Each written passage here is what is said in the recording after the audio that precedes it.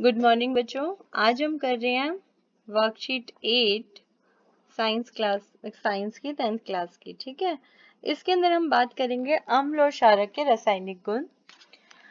हमने भौतिक गुण अम्ल और क्षारक के पढ़ लिए थे। भौतिक गुण में हमने बात की थी, अम्लों का स्वाद कैसा होता है, खट्टा होता है, क्षारक का स्वाद कैसा होता है, कड़वा होता है, क्षारक को हाथ में लेते हैं तो वो साबुन की तरह चिकने लगते हैं।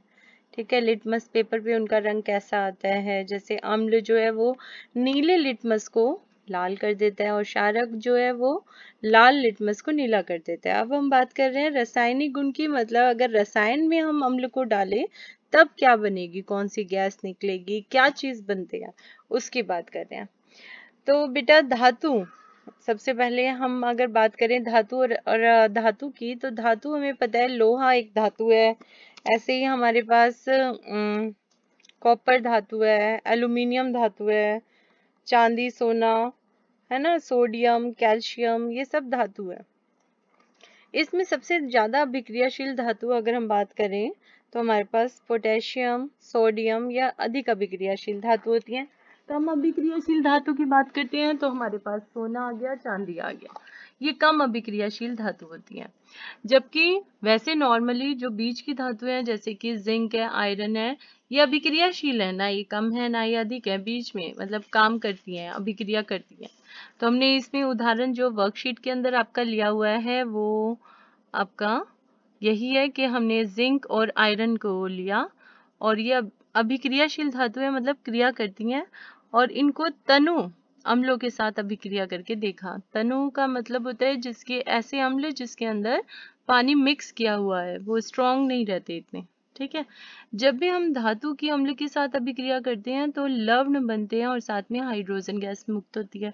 अब ये लवण क्या होते हैं बेटा? आपने कभी देखा है कि आपने, मान लो, लोहे का टुकड़ा लिया और उसे पानी के अंदर डाल के छोड़ दिया तो क्या होगा?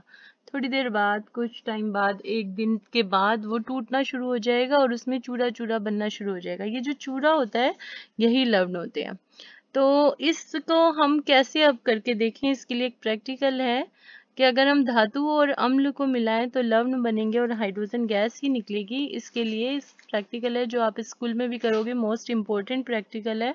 उसके लिए हमने एक टेस्ट ट्यूब ली, उसके अंदर जिंक धातु के टुकड़े डाले, जैसे कि आपका लोहे के धातु के टुकड़े होते हैं, ऐसे जिंक धातु के टुकड़े डाले और उसमें एक अम्ल डाल दिया H2SO4 H2SO4 मतलब सल्फ्यूरिक अम्ल डाला हमने। तो हमने क्या देखा कि जो उसके अंदर धातु जो है, उसके ऊपर छोटे छोटे बुलबुले आने शुरू हो गए।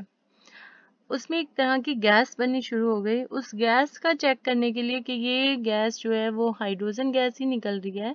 इसके लिए हमने एक छोटा सा सेटअप बनाया। इसके लिए हमने एक डिलीवरी ट्यूब ली बेटा, नीचे बीकर लिया। बीकर के अंदर साबुन का पानी डाला और जैसे ही डिलीवरी ट्यूब से गैस नीचे आई तो बुलबुले बनने लग गए साबुन के। जैसे बच्चे खेलते हैं ना वो छोटे छोटे बुलबुले बनाते हैं साबुन के और फूक मारते हैं, वैसे इसके अंदर बनने शुरू हो गए। इस बुलबुले के ऊपर अगर मैं आप लोग मोमबत्ती जलती हुई मोमबत्ती लेके आओगे तो वो पट की आवाज़ से, एकदम से, पॉप की आवाज़ से बुझ जाएगी। ये जो पॉप की साउंड आती है, पॉप की ध्वनि जो आती है, ये बताती है कि जो गैस बन रही है, वो आपकी हाइड्रोजन गैस है। ऐसे ही अगर हम हाइड्रोक्लोरिक के साथ करेंगे अभिक्रिया सेम इसी टाइप से होगी, हाइड्रोजन गैस निकलेगी, लेकिन जो लवण बनेगा, वो अलग बनेगा।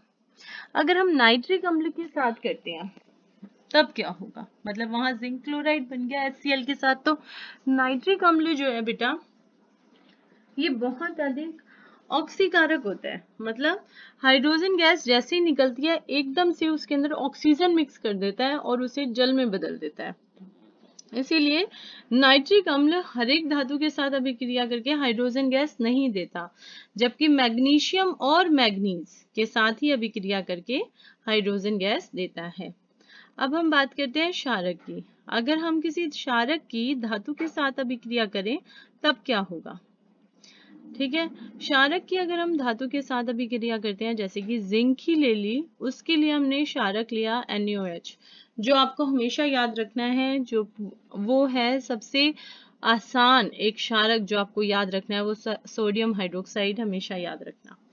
उसकी अभिक्रिया करेंगे तो यहाँ भी लवण बनेंगे और इस लवण का नाम है सोडियम जिंकेट। और साथ में हाइड्रोजन गैस निकलेगी। मतलब दोनों ही केस में हाइड्रोजन गैस निकल रही है, चाहे आपने शारक लिया या अम्ल लिया और धातु के साथ अभिक्रिया कराई। सबसे ऊपर जो आपका दे रखा है, यहाँ ये दिया है क्रियाशील धातुएँ, सोडियम, मैग्नीशियम, एल्यूमिनियम क्लोराइड, ये बहुत अधिक अभिक्रियाशील धातु है, जबकि कम अभिक्रियाशील धातु कॉपर, सिल्वर और मरकरी दिया हुआ है। आगे हम चलते हैं। धातु और अगर हम सॉरी अम्ल की और किसी धातु की अभिक्रिया करेंगे तो हमने देखा कि लवण बन रहा है। ऐसे ही अगर हम अम्ल धात्विक ऑक्साइड ले लें मतलब एक क्षारक ऑक्साइड लें और उसके साथ किसकी अभिक्रिया कर दें? अम्ल की अभिक्रिया कर दें, तब भी लवण ही बनेगा और साथ में इस बार लेकिन जल निकलेगा। ऐसी अभिक्रियाओं को उदासीन अभिक्रिया करते हैं, जिसके अंदर लवण बनते हैं बेटा। अगला, यहाँ भी और जल का निर्माण होता है। अगली यहाँ है शारक अगर हम अम्लीय ऑक्साइड लें, जैसे कि कैल्शियम ऑक्साइड लें सॉरी कार्बन डाइऑक्साइड लें सीओ टू तब भी हमारे पास क्या बनेगा? लवण बनेंगे और जल बनेगा। तो जहाँ पे लवण और जल बन रहा है, वो उदासीन अभिक्रिया होती है। अगर हमने धात्विक ऑक्साइड ली, जैसे कि कैल्शियम ऑक्साइड उसके अंदर हमने अम्ल डाला तो कैल्शियम क्लोराइड बना और जल बना। अगर हमने अधात्विक ऑक्साइड लिया, जैसे कि कार्बन डाइऑक्साइड, कार्बन एक अधातु है, उसका ऑक्साइड लिया कार्बन डाइऑक्साइड, और एक क्षारक डाला एनओएस क्षारक नहीं डाला हमने, कौन सा क्षारक डाला? इसमें कैल्शियम हाइड्रोक्साइड डाला। देखो, इसमें भी ओ OH ग्रुप है, और इसमें भी ओ OH ग्रुप है। ओ OH मतलब क्षारक। ठीक है? क्षारक डाला तो सोडियम का कैल्शियम कार्बोनेट निकला और साथ में जल निकला। ये आपकी वर्कशीट हो गई। अब इसकी वर्कशीट के क्वेश्चन आंसर हम देख लेते हैं। क्या दिए हुए हैं? तो पहला क्वेश्चन जो इसमें दिया हुआ है, वो है आपका आयरन मैग्नीशियम कैल्शियम की हाइड्रोक्लोरिक अम्ल के साथ अभिक्रिया और सल्फ्यूरिक अम्ल के साथ अभिक्रिया। तो क्या होगा? आयरन की अगर हम करेंगे हाइड्रोक्लोरिक अम्ल के साथ तो आयरन क्लोराइड बनेगा और साथ में हाइड्रोजन गैस निकलेगी। ऐसे ही मैग्नीशियम की अगर करेंगे तो मैग्नीशियम क्लोराइड बनेगा और हाइड्रोजन गैस निकलेगी। कैल्शियम की करेंगे, कैल्शियम क्लोराइड बनेगा और हाइड्रोजन गैस निकलेगी। अगर हम आयरन की सल्फ्यूरिक अम्ल के साथ करेंगे तो आयरन सल्फेट बनेगा और हाइड्रोजन गैस निकलेगी। मैग्नीशियम करेंगे, मैग्नीशियम सल्फेट निकलेगा और हाइड्रोजन गैस निकलेगी। कैल्शियम की करेंगे तो कैल्शियम सल्फेट बनेगा और हाइड्रोजन गैस निकलेगी। नेक्स्ट क्वेश्चन ये कह रहा है कि कॉपर की नाइट्रिक अम्ल के साथ अगर अभिक्रिया करने पर क्या हाइड्रोजन उत्पन्न होगी? अपने उत्तर की पुष्टि कीजिए।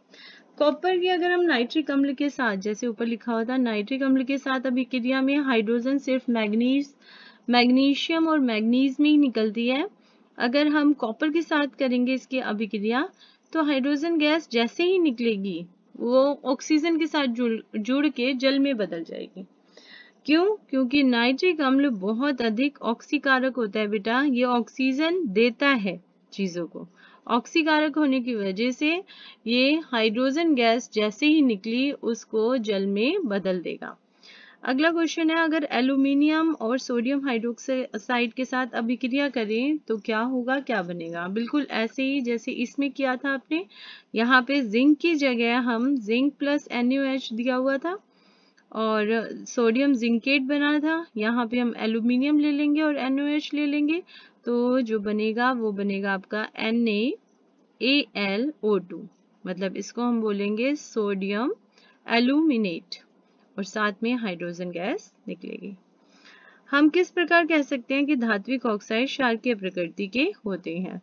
तो उसका आंसर भी आपकी वर्कशीट में ही है। धात्विक ऑक्साइड क्षारकीय प्रकृति के होते हैं। क्यों? क्योंकि धात्विक ऑक्साइड अम्ल के साथ बनके लवण और जल का निर्माण करते हैं, क्योंकि ये एक उदासीन अभिक्रिया दिखाते हैं। इसीलिए धात्विक ऑक्साइड अम्लीय प्रकृति